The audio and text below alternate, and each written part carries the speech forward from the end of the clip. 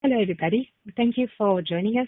My name is Céline Martin, and I will be your host today for this webinar on innovations in viral vector development, scale-up, and production. Our agenda today will cover a broad range of topics and will be followed by a Q&A. During all the talks, you can ask your question in the chat box, and our presenters will review them at the end.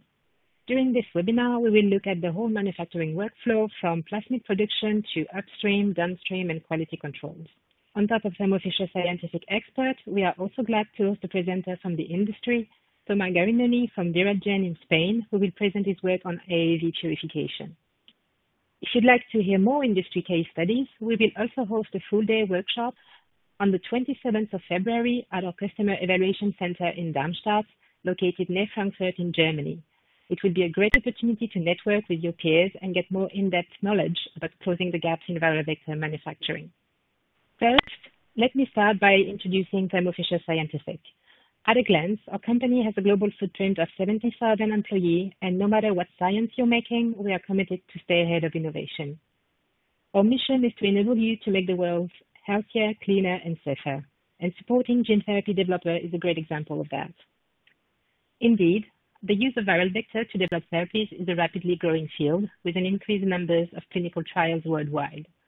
Um, as these are innovative medicines, the field might not be as established as other um, in the biotechnology industry, and lots of technical solutions have still to be explored to streamline processes.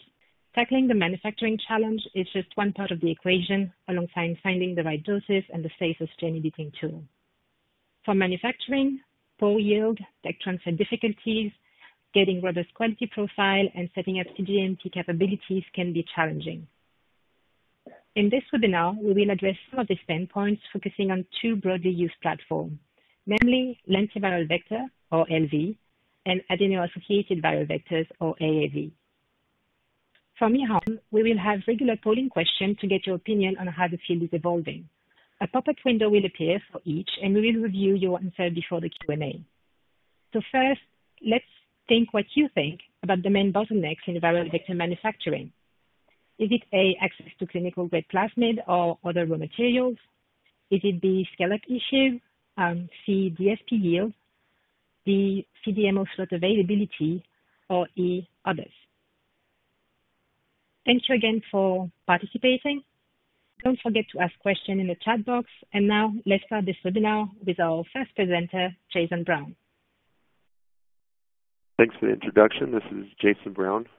I worked for Thermal Fisher of Logan, Utah for the past seven years. In the first two years of that, I helped finalize the design and the development of the single-use fermenter.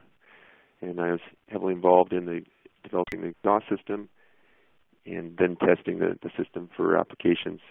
And since then, I've been working with customers to move the single-use fermenter into their facilities and prove concept and, and help them start up. Um, here in Logan, Utah, we we, do, we make various single-use bioprocess systems and containers such as lab tainers, tubing manifolds, high-performa product line of mixers, powder tainers, bioreactors, fermenters, and, and several other custom vessels and systems of any ideation. So single-use systems are specifically designed and validated to meet the needs and specific functions which which they're built for. So the, the single-use fermenter really helps customers as they can bring it into their lab and have a quick turnover time after production and move into their next process in, in one hour instead of one day. Eh, as I said earlier, the, our systems are validated for their specific intended use. They're pre-assembled and they come sterile, and that takes the load off the customer so they can do their own their processing and spend more time in that. Depending on their process, they can a closed system using single use. And I don't, I don't have a lot of time, so I'll move through this quickly than normal. And giving some details on the single instrumenter, it has high performance. Uh, we, we, designed it as a single instrumenter, so it produces a KLA of 600 per hour, and that's because it has three high shear Russian impellers, four baffles, has an aspect ratio that you expect to see in a fermenter, has a ring-like sparge, unlike several other of these options in the field, which are just reactors that have been moved to fermenters. So yeah, the fermenter also has a 5 to 1 working volume, so you can use it from 6 to 30 liters or 60 up to 300 liters. And it has a high flow exhaust system, so it can handle two vessel volumes of gas. That's 60 liters per the 30 liter or 600 for the 300 liter. It has a foam sense and other single-use control, which optimizes its use as a fermenter. So now there are we've done several. Well, customers have been using this fermenter for the past five years, and many of them have been using it for plasma production. I'm able to share details on the on these information you see on this screen, and specifically we don't have a lot of time, so I'll talk about the the last one. If you want to know more about the others, they'll be on thermofisher.com slash SUF. So first, I, I want to talk about this culture we did, these cultures we did with this customer who came to us with um, a need where needed to take control of their cultures and move from their contract manufacturer to in-house production. So basically, we did a simple tech transfer into the 300 liter stuff. is That's the scale they, they were looking at. Um, and then with those results, they took them back to their lab and and developed a scale down model in their one liter glass vessels. And you can see it's pretty smooth control in the single use fermenter as we're using delta V and True Bio's gain scheduling, which smooths out the control really nicely. And they were able to, they were very pleased because they had tested other systems before and they had only got to ODs of 440. And then coming to us, they were hoping to, to actually achieve at least 80. And so they were very pleased when we outdid their their expectations, reaching 150 OD and equivalent results for the grams per liter of production. So we then ran that as well in the 30 liter stuff and to show feasibility in that as well for them. And then they, they ended up purchasing the single use fermenter from us. And in their benchtop model, they, model, they could then compare all their other processes that they wanted to move into the system. And they were able to see that their their other processes for plasma production would also work as well. So here's another slide showing the, the ferment, single use fermenter during the run with them and the true vial G3 light next to it. As I said, this is a improved their yields three folds from what they'd seen before in single use and improved feasibility. I want to go into a brief amount details on, on some feedback from other customers that have been using the single single use fermenter. Sorry. So that basically it has great advantages in setup and cleaning.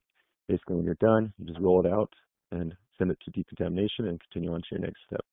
Preparation of your, your next run is similar in media preparation. Hands-on time of stuff is much shorter and is pretty advantageous. And now, as I'm about out of time, I'm going to skip to the next slide and just kind of show there's, there's a lot more application data online. If you go to thermofisher.com slash SUF, you can see these other cultures and look up and download um, details about the ones I shared today and more about others we'll be uploading this month for plasma production. Thank you for your time. Thank you, Jason. And as we see in the middle, this can be used for E. coli plasmid production. And from plasmid to viral vector, here is our next polling question. Which type of vectors are you actually interested in? LV, AV, AAV, HSV, gamma retroviruses vector, or others like oncolytical viruses? So if you've answered LV at that question, our expert, Ian Pringles, will now take the floor. Thank you, Celine. Uh, as Celine said, my name is Ian Pringle. I'm a field application specialist for cell therapy in uh, Europe. And I'm going to talk to you today about the LV Max production system for the production of lentiviral vectors. The LVMAX lentiviral production system is the first optimized lentiviral production system for suspension culture. It can be used to produce high titers of lentivirus in a scalable suspension system there are no animal-derived components in the kit, and a GMP version is available for commercial use. There are four components to the LVMAX system. A HEC293F cell line capable of growing to very high cell densities, a novel transfection reagent capable of highly efficient transfection, an enhancer solution to boost the expression from plasmids, and a media supplement. Uh, using design of experiment software, uh, studies were designed to determine the optimal conditions for these four components to work together. And taken together, the results suggest a 20-fold or greater increase in lentiviral yield compared to conventional production systems. If we look at the, the cell line used in the kit is a HEC293 derivative, it does not contain the large SV40T antigen, and a clone was selected that could be used to support the cell growth up to very high cell densities, around 1 times 10 to the 7 cells per mil, but with still very high cell viabilities above 95%. It has a doubling time of around 24 to 26 hours, and typically we see very low aggregation of these cells, even at very high cell densities. And as shown here in this, in this graph, different culture vessels can support cell culture growth in a scalable manner. So we can see predictable cell growth in different volumes of culture. So from a small from a small culture flask, you can predict the type of uh, culture growth you're going to see in a much larger vessel. This scalability of cell growth is useful because it allows the development of production protocols in different experimental formats. So using a standard HIV VSVG vector expressing a GFP transgene, uh, small-scale studies could be performed in deep well 96 well plates, and the results from that could be used to identify lead candidates that could be taken forward and verified in larger scales, all the way through to uh, large-scale flasks and into bioreactors. So, for example, uh, there was a requirement when developing the LVMAX uh, kit for a more efficient uh, non-viral transfection reagent in order to efficiently transfect multiple plasmids into these high-density cells. So cells were seeded in 96 well plates, and then multiple transfection reagent formulations were formed with a standard plasmid mix. The supernatant from those resulting transfections was harvested at 48 hours post-transfection, and the functional vector titer was determined by transducing uh, HT1080 cells. Uh, two days later, the GFP fluorescence was used to determine a functional titer in transducing units per mil as shown here. And from this data, you can see that the, the transfection formulations that resulted in the highest titers were taken forward and used at larger scale to, to pick the uh, transfection reagent used in the kit. And the control formulation here, I think, is, uh, is lithivectamine 3000, our standard offering for adherent cells. You can see a massive increase in production of vectors that, uh, with the novel formulations. A similar approach was taken when designing an enhancer formulation. If you've made lentivirus with another system, uh, then you will probably be used to using sodium butyrate as a histone deacetylase inhibitor to boost expression from plasmids. Uh, for LVMAX, our team wanted something uh, better than that. So again, using the same small-scale system, transfections were set up, and then, then the effect of multiple different enhancer formulations on vector titer uh, were determined. And again, relative to the control, which is uh, sodium butyrate, uh, you can see large increases in, in vector titer were determined, were found, and then again those candidates were taken forward. In addition to having established the optimal enhancer formulation itself, uh, we then um, conducted time course studies to determine the optimal uh, time point for enhancer addition. So enhancer was added at various time points post-transfection, and it was found that adding the enhancer at any time point resulted in an increase in lentivirus production. But we suggest, um, uh, for our kit, for our standard offering, we suggest adding it between 5 and 14 hours post-transfection. Although, in truth, for custom formulations, this is something that I would recommend that people go back and optimize for themselves, because different plasmids will behave differently to uh, the enhancer. So, in that kind of manner, the protocol was built, and we end up with a complete protocol for lentivirus production using LVMAX. The cells are prepared on day zero in fresh media at 3.5 times 10 to the 6 cells per mil. And then 18 to 24 hours later, they are diluted back to the transfection um, density of 4 times 10 to the 6 cells per mil. And the LVMAX supplement is added. And the role of the supplement is to uh, prevent or slow down cell division. The idea being that if cells aren't expending energy on cell division, then they can be you have more opportunities to produce more vector, and that certainly seems to help. Transfection mix is created and added to the cells with the enhancer added 5 to 14 hours later, as I said. And then the optimal time point for harvest, um, again, should be established for each product. But generally, it seems to fall between 48 and 55 hours post uh, post transfection. After that, users will go on and determine um, the titer of the vector.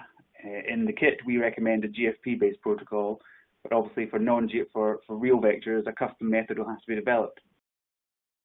A question that we often get asked is, do we have to use the complete system?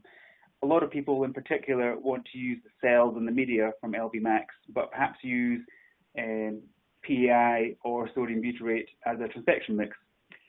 Our R&D team have uh, considered this and have tried many different reagent swapping experiments consistently, the highest titers that we see are when the complete lentivirus LVMAX system is used, and that is our recommend, recommendation.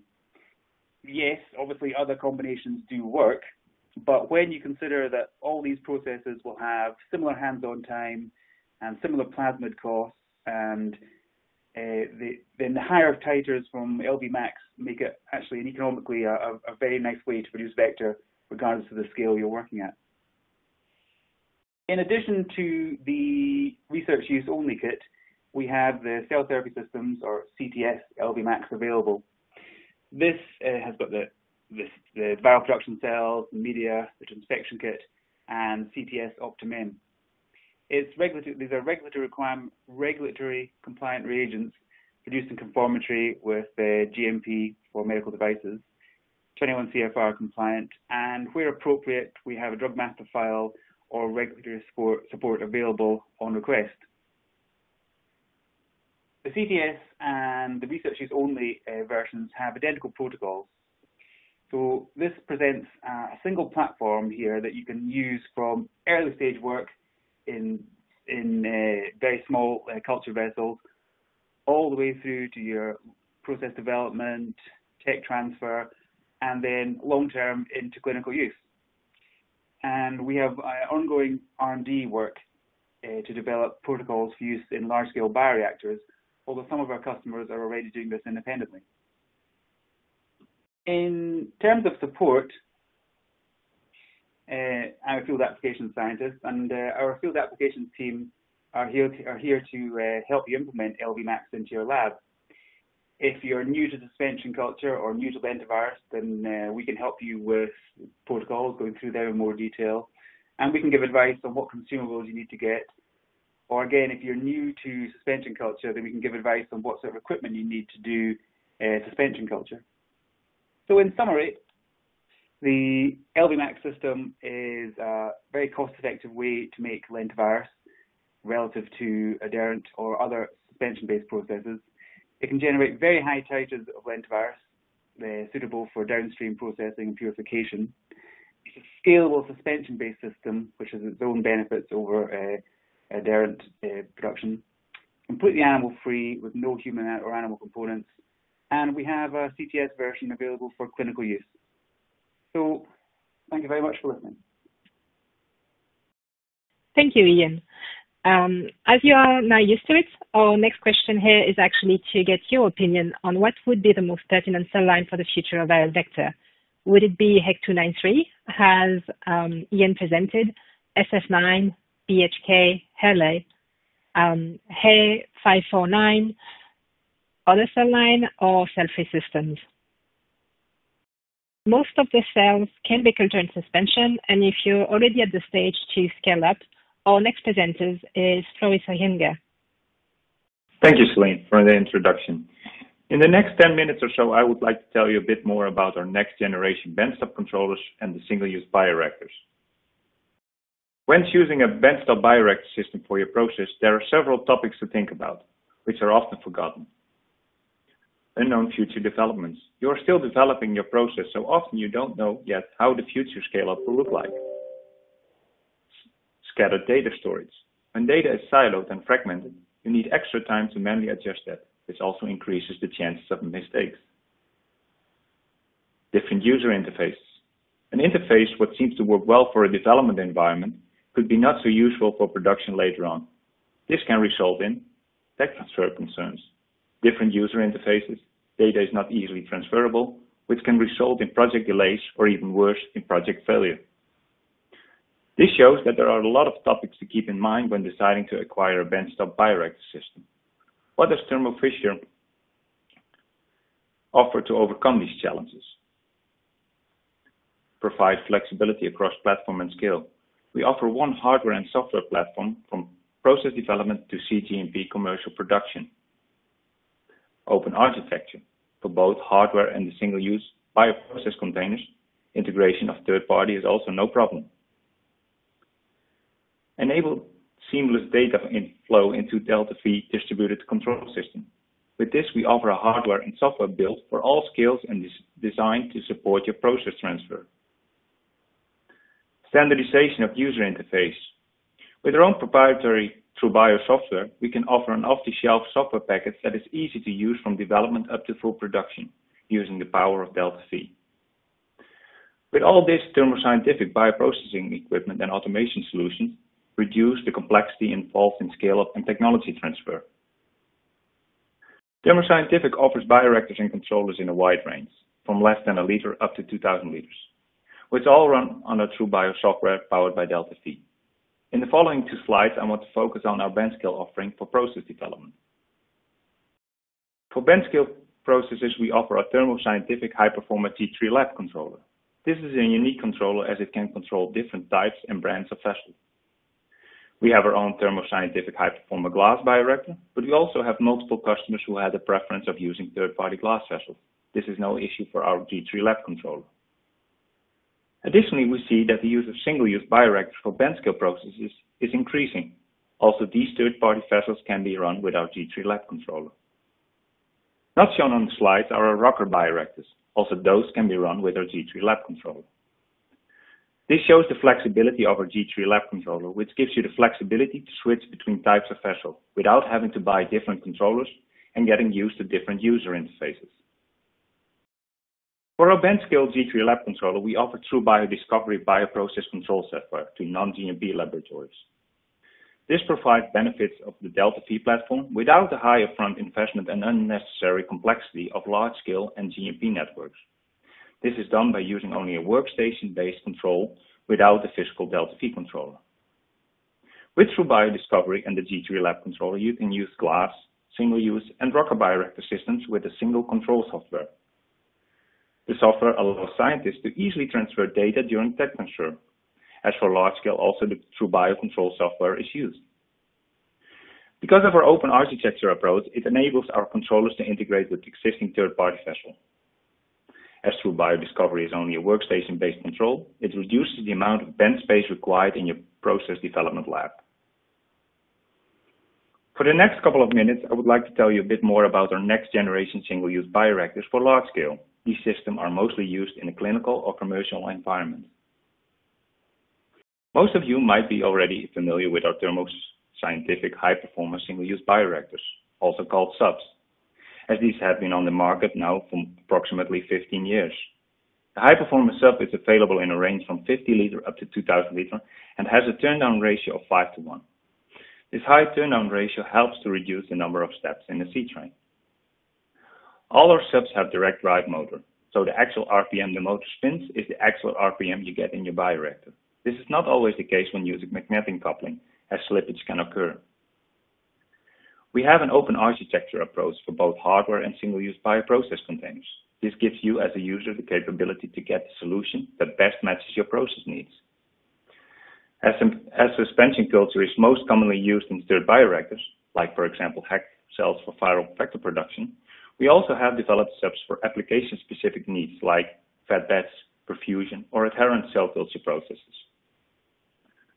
Application-specific processes require specific needs like for perfusion and fed bed processes, more mixing power and more mass transfer is required. Specifically nowadays when cell densities keep increasing. For adherent cell cultures, when using, for example, microcarriers, higher mixing powers is needed to prevent settling of the carriers, but low tip speed and preventing small eddy lengths are key to make sure cells are less likely to be shared of the microcarriers.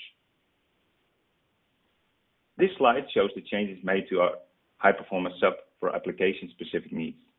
The left vessel you see is our legacy 2 to 1 turn-down ratio sub. Later, we developed our high-performance sub 5 to 1 turn-down ratio.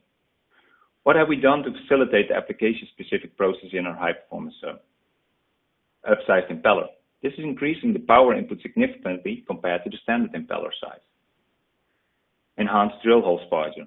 For perfusion and fed bed processes, substantial mass transfer increases were not only obtained by upscaling the impeller and increasing the agitation, but also by altering the sparging system in the sub.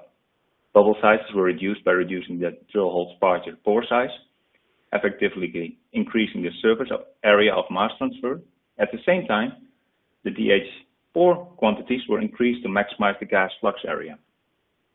If you're interested in more detail about these enhanced subs, Thermo Fisher has a white paper which explains it in more detail.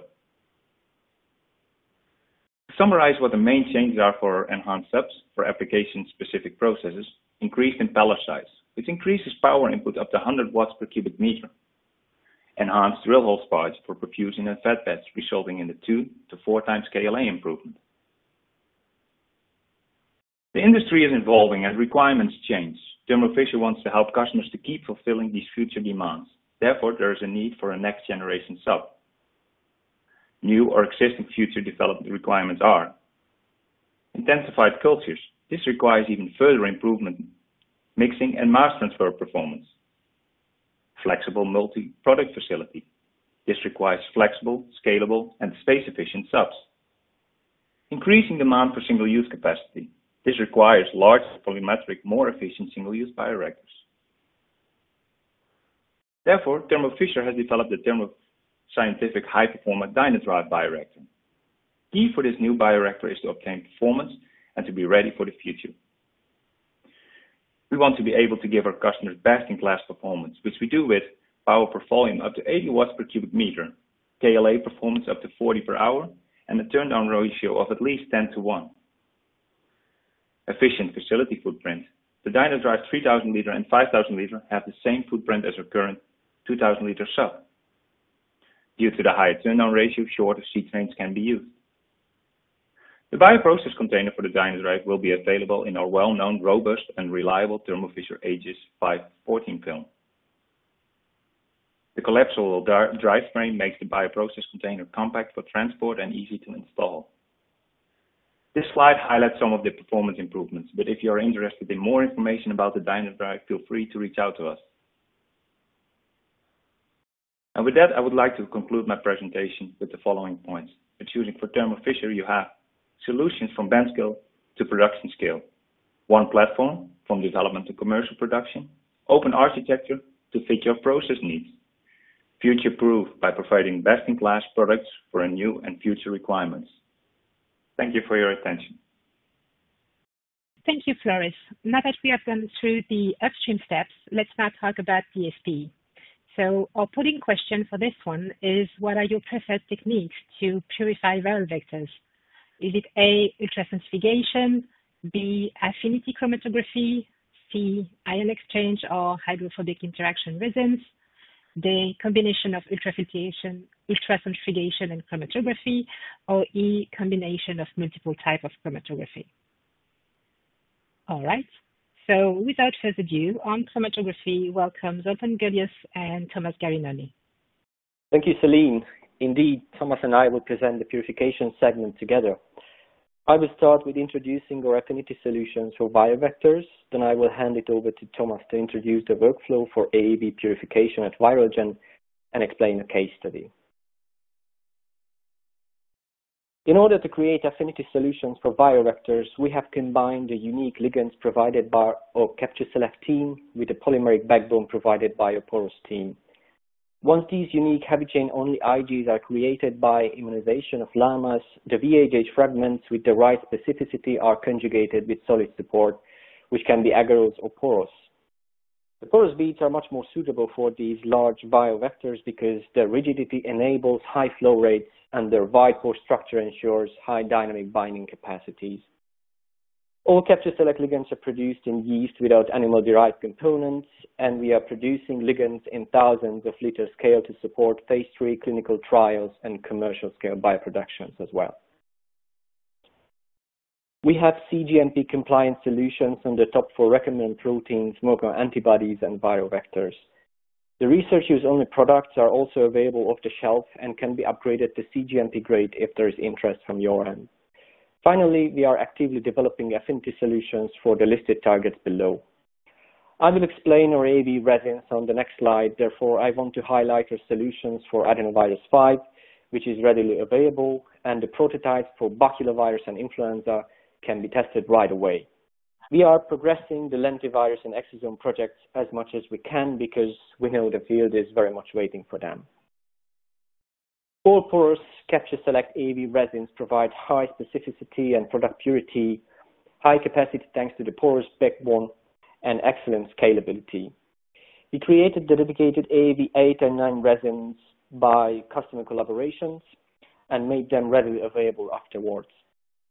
In the past years, however, the gene therapy field was catching up rapidly, selecting AAV as one of the most common viral vector of choice, thanks to their broad tropism and low immunogenicity. Our customers wanted to have a platform affinity capture step, ideally for all serotypes, similarly how Protein A works for monoclonal antibodies.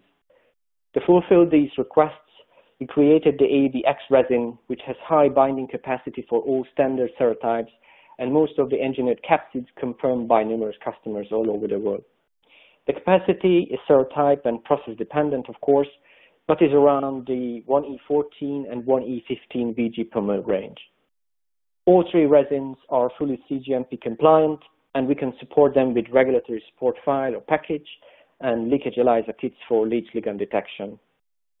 And with this, I would like to thank you for the attention and hand it over to our guest, Thomas, to present his slides. Thank you, Zoltan. Um, yeah, I'm actually really glad to present um, through this Thermo, Thermo Fisher seminar. Um, actually, the collaboration we have in between Thermo and Viralgen um, is really great. Um, the company I belong to and for whom I'm actually presenting is Viralgen. We are a CMO dedicated to AAV manufacturing from preclinical to GMP manufacturing.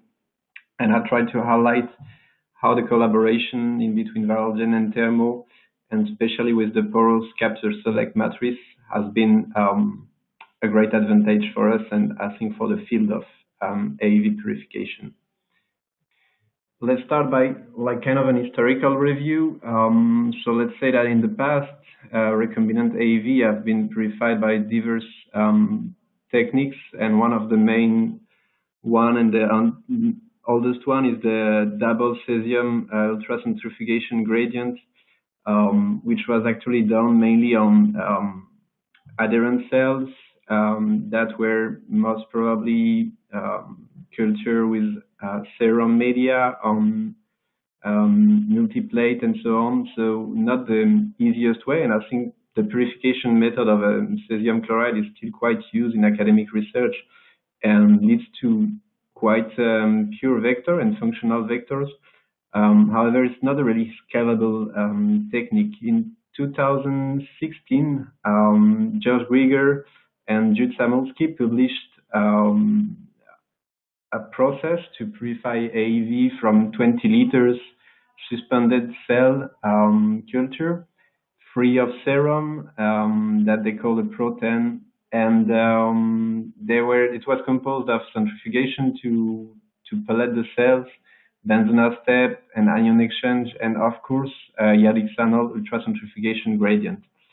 Um, these kind of process were leading to to some issue in terms of scale up and the need of evolution and of process improvement was um, obviously highlighted not not by me but by by some specialists in the field like uh, Eduardo Ayuso, for instance, who was uh, pointing out the need of um, some process that would be completely scalable and maybe enabling GMP AAV manufacturing. So you can see clearly a gap in the need of um, the, the process mentioned above because it's going to be really complicated to to purify a 200 liters bioreactor, for instance, starting by um, centrifuge and uh, sonication, or even by sodium, cesium chloride ultracentrifugation gradients. It's like kind of an impossibility. So um, the the launch of um, affinity matrix such as porous capture select on the market um, completely changed the game and enabled the field to move away from from a platform that was kind of complicated and difficult to scale up to kind of a platform that is almost applicable to all serotypes and, and saving the field a lot of pain in terms of process development. So at Virogen, um, we promote, and I've always been um, kind of partisan of a platform that enable a purification from preclinical to GMP manufacturing with the same process. And that's why we apply here at Virogen. So we we have a cell culture that is in cell suspend, suspended cell um, from 2 to 200 liter in a, in a defined culture media um, without serum. And we start by lysing um, those cells with a chemical lysis um, to clarify them and to load them on an affinity chromatography, which is um, actually porous capture AVX uh, resin. Um, this resin enables us to be really versatile from different serotype and actually to have a really high concentration factor from cell culture to to affinity pool. Um, the thing is that after this high concentration factor, we apply a Yodig-Sernol density gradient in order to segregate through from empty particles. And then to polish uh, this product, we pass through an anion exchange chromatography, which is again an anion exchange porous 50 HQ resin. Um, we then formulate a, formulate our product using dialysis or TFF and, and filter it sterilely to through a 0.2 micron uh, filter to in order to fill it afterwards. Um, the output of that is really pure and unrich um, particles in, in full particles vector. I'll try to show you some examples of uh, platform purification right now and try to be a bit of more on numbers and try to explain the platform we actually developed um, using thermos resins. Um, it's it's the example of an AV9 purification scale up, so from 2 liters to 250 liters. Um, a customer project where it was asking us to produce an AV9. Um, so for instance, you can see in the clarified lyset that we have some yields from 3.24 e to the 14 to 3.66 e to the 14 VG per liters from 2 to 250 liters, and the final production per liter of cell culture was also around 1 E14 per liter of cell culture. Um, you can see some chromatograms down um, down of the slide. I'm not sure that there is a lot of interest looking at that, but you can see that the condition we are are generally um, a loading of around 125 CV, a residence time of 2.8 minutes, but this resin is such, let's say, capacitive that we even reduce the, the residence time to one minute and have no loss in the flow through um, of AAV. Um, the elution is also um, worked, I mean, works pretty well, and we have an elution in citrate buffer at pH 3 with additives. Obviously, there is some other steps of wash in order to remove more um, contaminants and so on, but this is basically based on uh, every personal work that you probably have to do. Um, you can see on the top right an SDS stainless steel um, of the um, of the AAV. So on on the well number three, for instance, this is just the product after um, elution of the affinity resin. So you already have a really pure product, and you can see on slide well number five um, the non-retained part of the of the flow through it's important to notice maybe that on the well number two, um, you can see the standard, uh, the yeah standard material from ATCC, which was produced by uh, Philippe Mouillet and Richard Snyder. Um, these samples are completely available in ATCC, and it's I think it's a great uh, improvement for the field as well to get some standards uh, available on the market. We also have a really good recovery on, on that serotype. It's true that it's not always the case with other serotypes, like serotype 6 might have some more difficulty to, to be recovered on, on Capture Select IVX, but most of the time we have really good um, recovery and yield with that resin.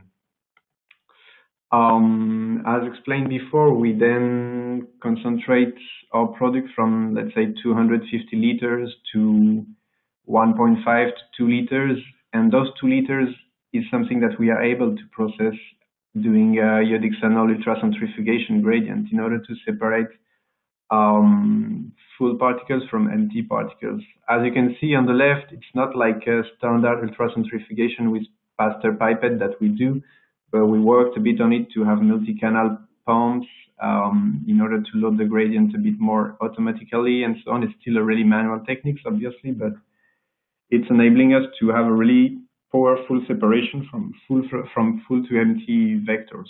Um, you can see once the gradient is built that there is a slight difference in terms of density at the mm, medium size of the of the tubes, and we generally characterize those tubes by fractioning fractionating them from from the bottom in order to see where are of full vector, where are the empties, are they properly segregated in the gradient, and so on.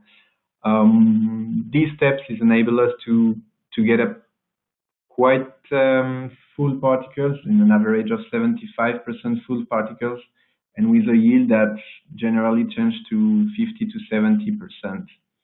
Um, we then charge the product obtained from that ultracentrifugation to a porous HQ50 resin, and we do a bind dilute mode in order to polish the, this product. Um, this step is intended to mainly remove the iodic xanol, concentrate the product, and polish it.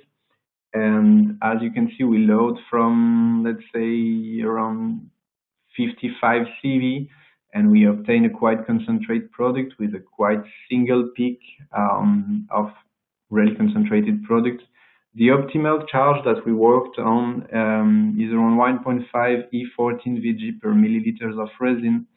Um, I'm not saying that this is the optimal for everyone. The resin is much more capacitive than that, but um, if you charge it more than this, you might um, you might face some precipitation in the elution. It's really particular to our process because we do a bind and elute, and then the elution, the elution of this product might be like over concentrated regarding to what um, people are going to need on the market. But that's why it's important as well to check those late fractions or those late product, production um, from turbidity on vector um, size by DLS or HPLC or whatsoever. And it's important to notice as well that uh, we have we observe no loss in the non-retained fraction. In conclusion, um, I would say that the porous capture selects the um, AVX, but let's say that Thermo Fisher has always been kind of a pioneer in terms of um, affinity resins in the um, gene therapy field um, from AV8 or AV9, but porous capture selects X um, enables us to move to a very versatile platform. I think that it's quite kind of really helping the field to move forward in order to reduce the, the time of development um, from from a process for producing AAV. Um, it's enabling us as well to move from from a platform that is similar from R&D um, to GMP, having less um, loss in this pathway from preclinical to clinical. I also need to mention that the full enrichment of particle by ultracentrifugation gradient is not always the, the best solution. And right now, people and a lot of people, there's a lot of application notes coming for a segregation from full to empty with um, chromatographic approach, for instance, even with porous uh, 50HQ resin. Um, this is not our platform. We, as a CMO, what we want to promote is a rapid um, and, and quick um, transition from preclinical to clinical uh, manufacturing and therefore uh, being able to take a vector and bring it quickly to clinic, um, having a, robust platform with a full unrich vector. Um, with that, I thank Thermo again for giving me the opportunity to talk and let you going for the next slide. Thank you, Thomas and Zoltan. Uh, we are now coming up at the end of the process and this webinar. So during production, assays are key. And actually, our polling question is, um, what would you like to have as better solution um, in terms of assay? Would it be A, reliable quantitation, B, residual DNA, C, residual protein, D, residual chemical, E, um, better uh, measurement for empty full capsid, or others? So now, let's hear about our pharma analytics specialist, Rob Osborne. Thank you very much, Celine. Um, my name is Rob. I'm a technical sales specialist uh, within the bioproduction division at Thermo Fisher Scientific. And for the next 10 minutes or so, I'd like to introduce to you at a very high level um, some of the solutions that we have for contaminant and impurity testing within um, a biomanufacturing environment, and more specifically, focus a little more on our solution for residual host cell DNA quantitation. So at a high level, just to introduce you to all of the solutions that we can provide, um, we provide a range of assays based on two separate technologies. The first of which is DNA sequencing, um, for which we use our MicroSeq ID platform for microbial identification used in environmental monitoring. Next to that, we have our qPCR platform, and here we have a, range of assays that I would say are more um, involved in process monitoring for specific contaminants and impurities. So we have solutions for the rapid detection of viruses and mycoplasma as contaminants. And we also have solutions for the rapid quantification of typical host cell impurities, specifically host cell protein, uh, residual DNA, and we also have a solution for leached protein A, uh, rapid quantitation. But for the remainder of this presentation, I'm going to concentrate a little bit more on our solution for DNA quantitation. Why is it important to monitor for these residual impurities? Biological products produced within a cell culture contain specific impurities that relate to the host cell, um, DNA and, and host cell proteins. And the presence of these impurities can have an effect on both the shelf life and the efficacy of a final drug product. And so as a, as a result of that, there are regulatory guidelines that need to be met uh, relating to the amount of these impurities in, in, in a, a biological product. Where would we look to test for these impurities during the manufacturing of a biologics material? Obviously, we look to the uh, final product, um, but as we move further upstream, we'd also be taking samples from as early as uh, the harvesting and cell removal stages. But I would say more predominantly, we're using these assays to monitor host cell impurities throughout the purification downstream stages. Um, and that can be used for both in-process control of a downstream purification process and for a final lot release.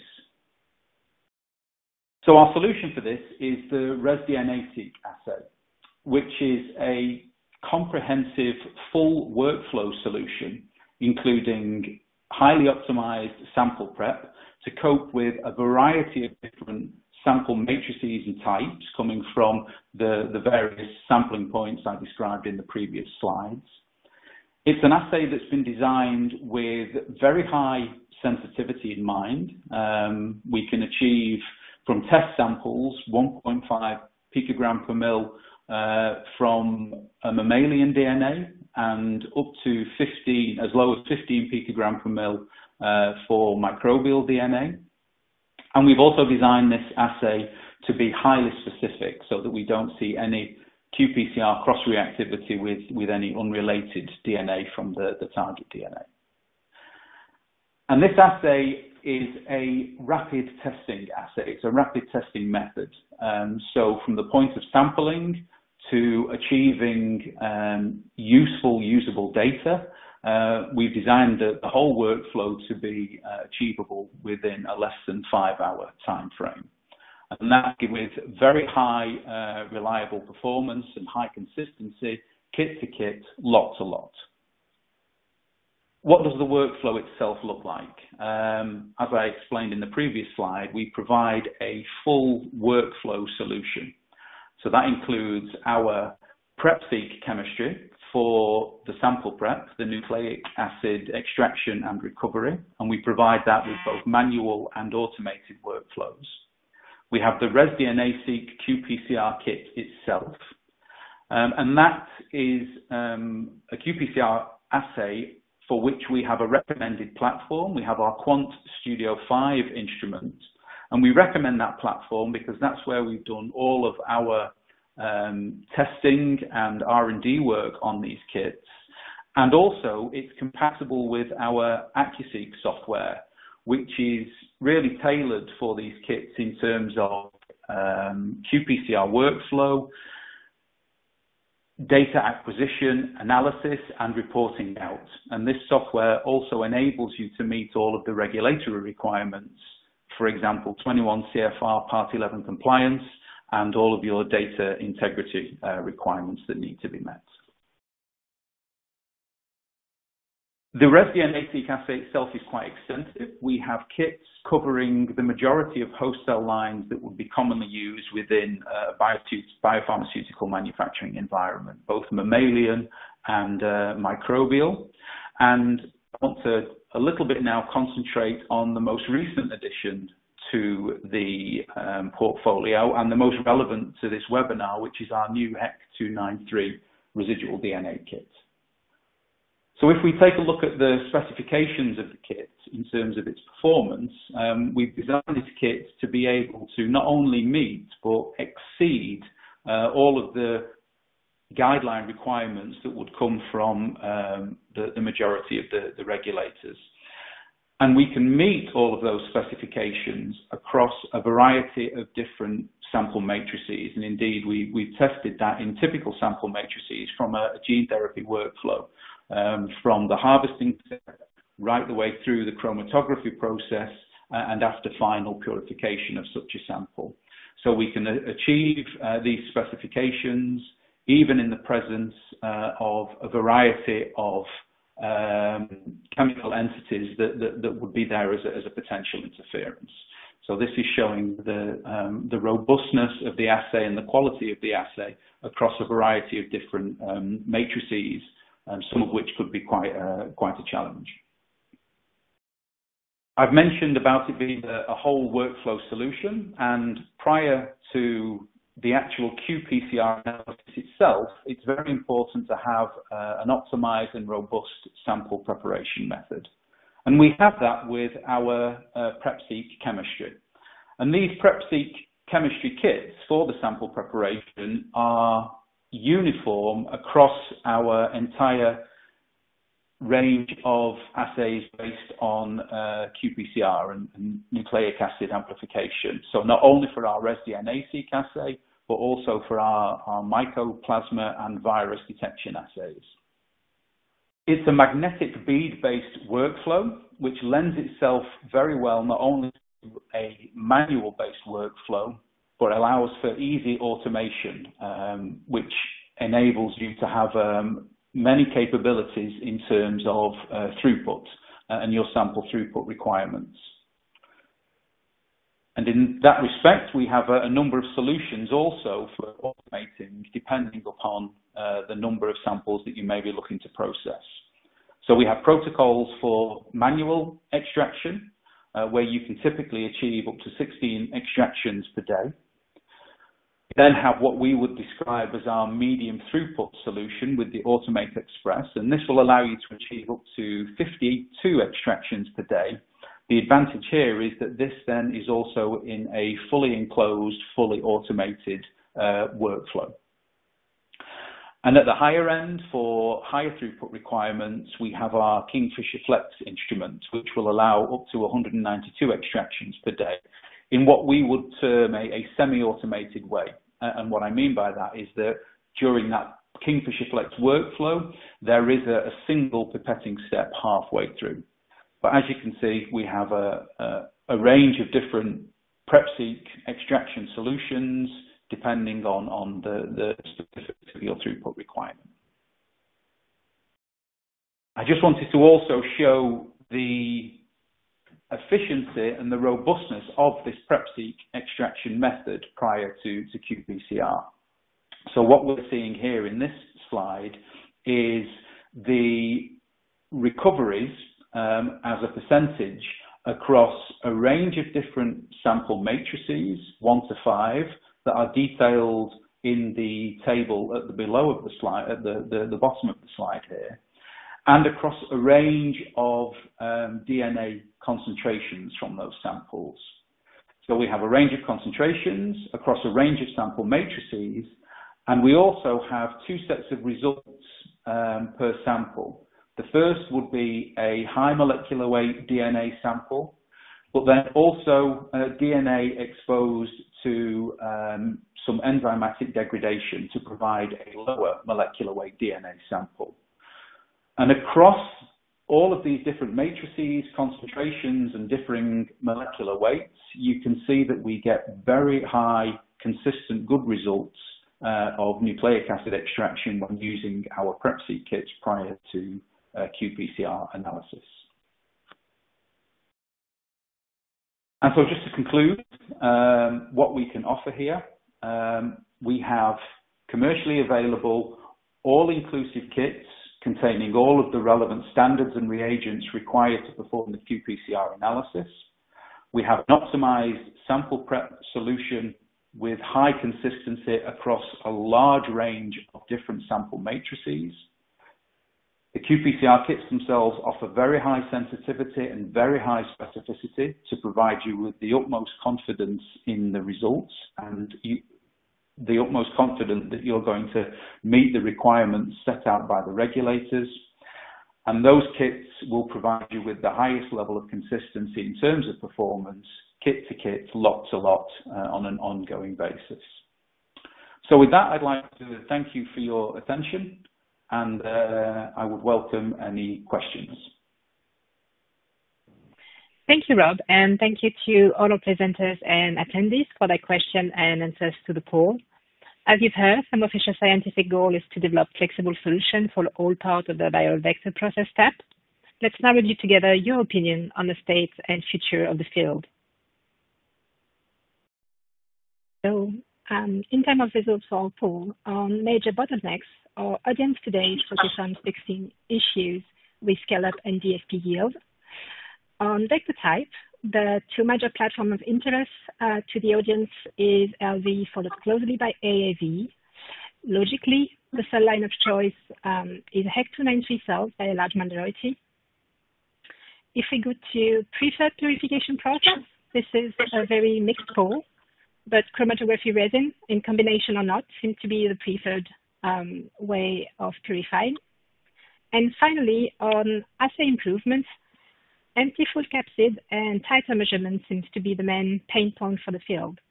I thank you all for your inputs. On a final note, uh, before the Q&A, I'd like to remind you, if you want to hear more scientific and technical details, you can join our one-day workshop on the 27th of February in Germany. You can register your interest at thermofisher.com slash knowledge culture. It will be an opportunity to network with other gene therapy developers and meet our experts face to face. Now, um, we'll go through a couple um, of Q&A questions. Um, Rob, can you answer this question? Is it possible to use other qPCR equipment than the um, Thermo Fisher's for your residual DNA assay? Hi, can you hear me? Yes. Perfect. Um, yes, it is possible. Um, so the the qPCR platform I mentioned in the presentation is the QuantStudio 5, and this, along with our slightly older 7500 FAST platform, are the recommended instruments because that's where we've done most of our testing and, and R&D work and because of their compatibility with the AccuSeek software. But it, it is, of course, possible to use um, the assay I detailed and any of the assays that, that were mentioned in the presentation on any qPCR platform. Right. Thank you, Rob. Um, then, uh, second question and last, because our time is up. Ian, can you answer this question? Um, is it possible to use your LV kit to produce AAV? Yeah. Hi, Celine. Uh, can you hear me okay? Yeah. Good. Uh, yes. Uh, we're developing a suspension-based system for AAV, uh, kind of independent of LV Max, but it's not available yet. Um, we do have some guidelines on how it, it, basically it can be done. Uh, we there are customers certainly who are doing it, and we do have some guidelines that if customers want to make a lot of AV quickly, uh, they should t- contact us and we can talk them through the process of making AV with LV Max. So it's not something that's widely available, but it can be done. Okay, perfect. Um, well, as we have uh, run slightly over time, um, we will reach out to you individually to answer any pending questions. Um, I wish you all a very good rest, of the day, and I hope that this uh, webinar was um, informative to all of you. Thank you very much.